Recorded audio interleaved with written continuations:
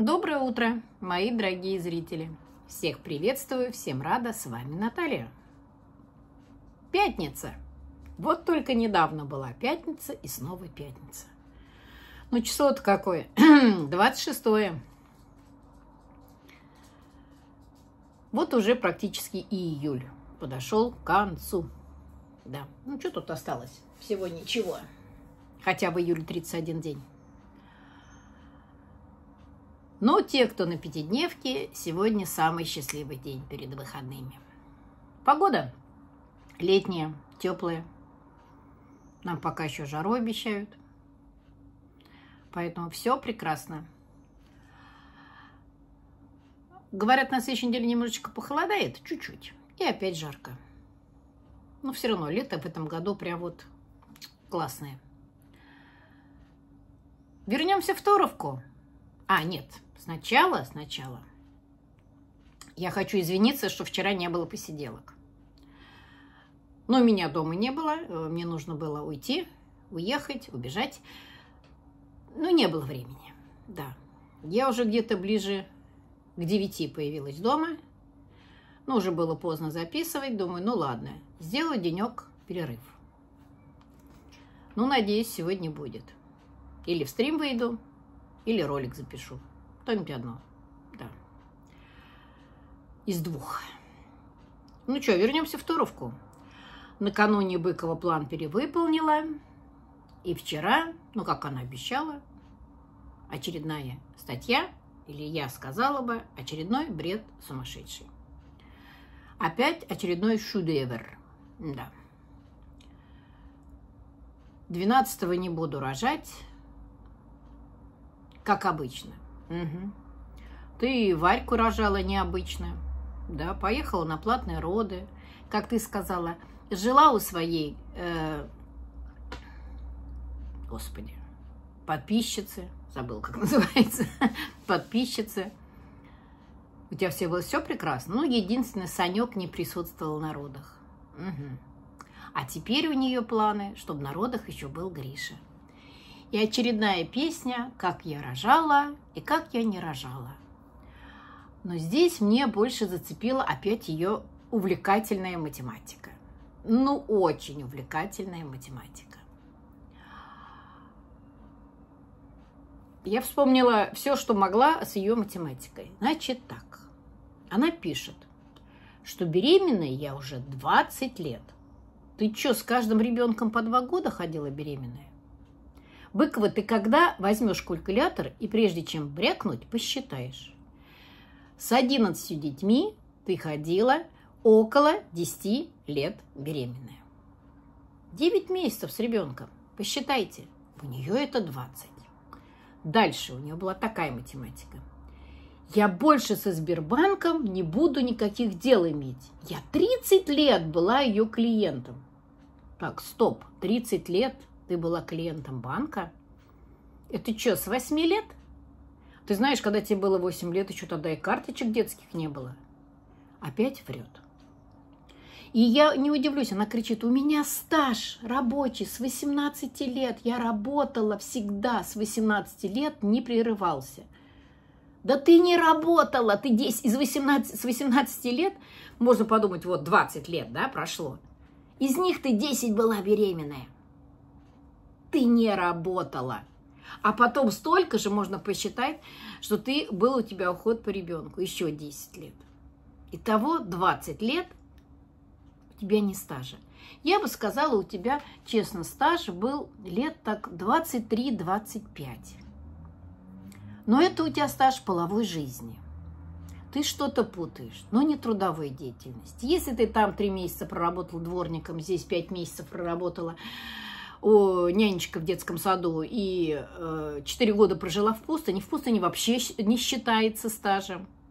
Ты откуда ты взяла, что ты с 18 лет? Ты только 4 года жила в пустыне. В пустыне у тебя стажа не было. Ты работала, да, потому что надо было, чтобы тебя кормили. И твоих э, троицу первую, да. Но там стажа не было. Уже не 18 лет и не 20. То есть всегда одно вранье. И вот вчерашней статье опять она хочет рожать воду, как рожала она Якова. Поэтому у Якова с легкими-то проблемы. Поэтому он у тебя и дохает без конца, потому что ты его рожала в воду. У ребенка не сразу открылись легкие. Может быть, даже попала вода. Сейчас она уже не пойдет на этот эксперимент, чтобы рожать дома, в подвале, в ванной, на полу. Нет.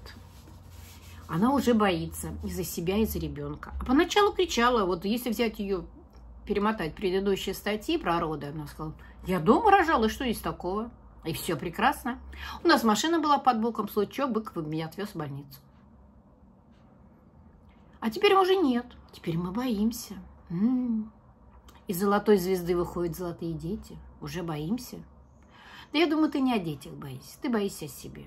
Потому что последние твои двое родов – это чистка. Да, выскабливание после родов. Не сокращается матка, у тебя уже проблемы начались еще с Вероникой. Не надо говорить, что это виноваты врачи, это виновата ты. Ты и только ты. Во всем, что творится в твоей жизни, виновата только ты. Не хейтеры, не обзорщики, только ты. И вот мне вчера опять прислали комментарий. Я над этими комментаторами, я просто уписываюсь. Что вы привязались к Коле? Что вы лезете в ее жизнь? Я лезу в ее жизнь. Вы что, больные? Она, по-моему, свою жизнь, не стесняясь, показывает на весь мир. И мы к ней лезем. Нет, я пришла к ней, к ней домой, открыла, все проверила, э, поснимала и вышла, рассказала. А она так тихо сидит, ее никто не знает и не видит, не слышит. Вы ей завидуете. Чему? Чему? Объясните. Чему там завидовать? Внешность крокодила, лягушки, жабы. Ну, такой у нас это. Жирная блоха. Да, как Гриша сказал. А дальше что? Куча детей? Ну, извините, я родила столько, сколько смогла поднять на ноги. И у меня не было такого желания. Ну, может быть, еще одного бы я и родила, третьего и потянула бы, все вполне возможно. Но не случилось. И вы знаете, я как-то не очень-то расстраиваюсь. Ну, что дал Бог, то и есть. И не хочу я вот такого табора. И дело в том, что дело не в количестве, а в качестве. Или чему я завидую? То, что ей на машину собрали? Я вас умоляю.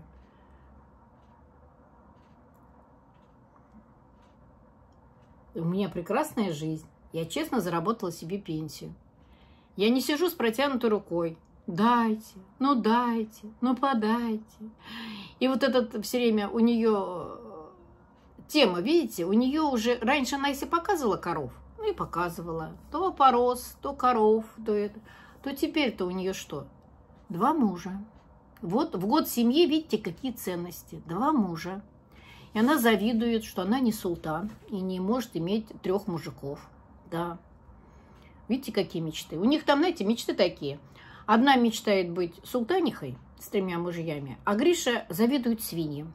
Да, представляете, свиньям завидуют. Угу. Какая у них прекрасная жизнь. На воздухе.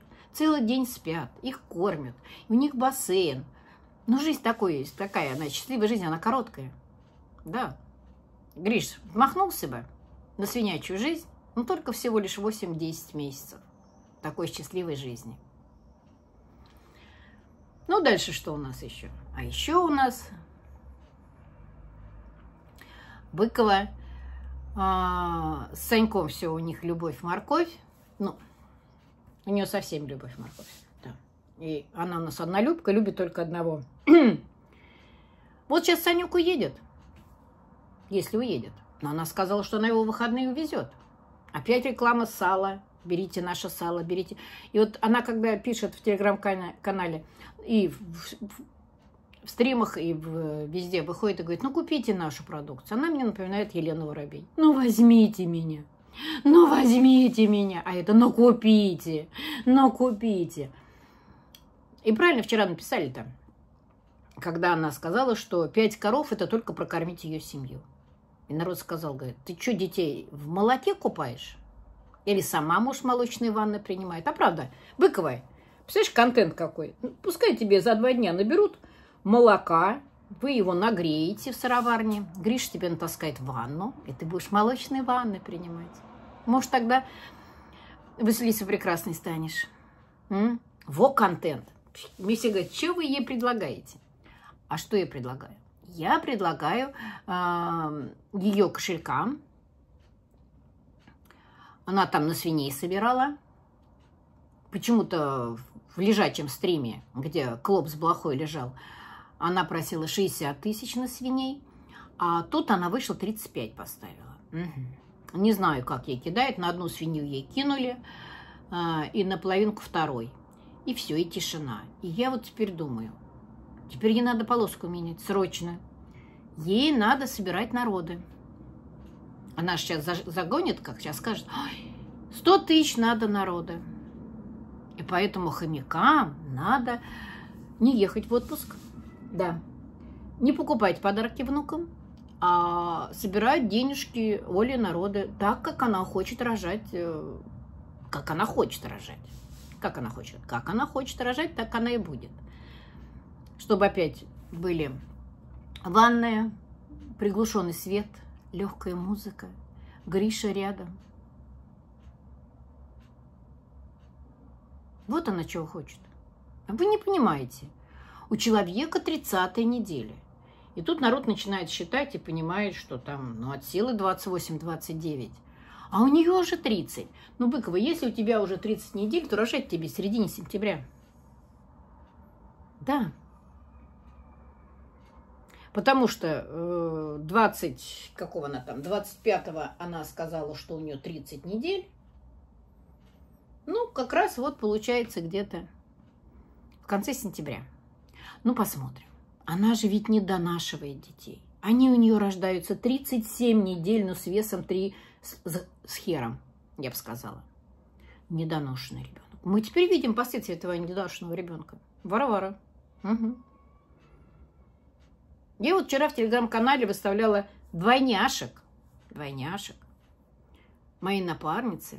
Вот им в марте был год. Она мне прислала видео. Там дети в 11 месяцев пошли. Это двойня. Это не один ребенок. Это как мама занималась с детьми. Она не пропустила ни одного массажа. Она выполняла все как положено. Дети, за ними занималась. У них и взгляд-то другой. Вот годовалые два ребятенка вышли и пошли, когда им шарик и вот этот годик циферку надули. У них взгляд совсем другой. С Варварой не сравнить. И для чего? Вот последствия, как ты говоришь, недоношенного ребенка. Да, но зато закормленного. Ну ладно, вот эти новости были вчера. Посмотрим, какие новости будут сегодня. Она может сегодня не выйти. У нее сборы в Москву. И отвезти Сашу на работу. Чтобы Саша заработал денег ей на платные роды. Это что такое?